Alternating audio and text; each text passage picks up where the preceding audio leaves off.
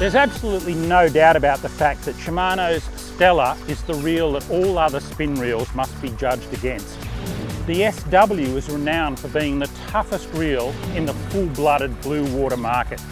And now the Stella FI fills that niche in the finesse end of the market.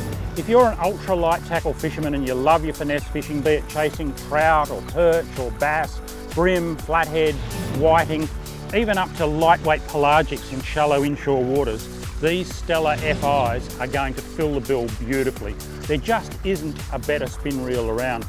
They've got a couple of major new features and the one that I really like is the G-Free feature. What they've done is move the oscillating gear towards the top of the body to bring the weight of the reel closer to the rod. Now it doesn't sound like a lot, but it actually makes a big difference in your hand. It makes the outfit balance better and there's less likelihood of wobble when you're winding, especially under load. There's also micro module gearing.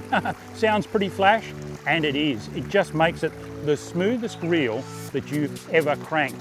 It's also got core protect, and that is to look after that gearing and make sure that salt and dirt and grit doesn't get in there so that you can hand this reel down to your son or daughter and they can hand it down to theirs. They really are an heirloom reel.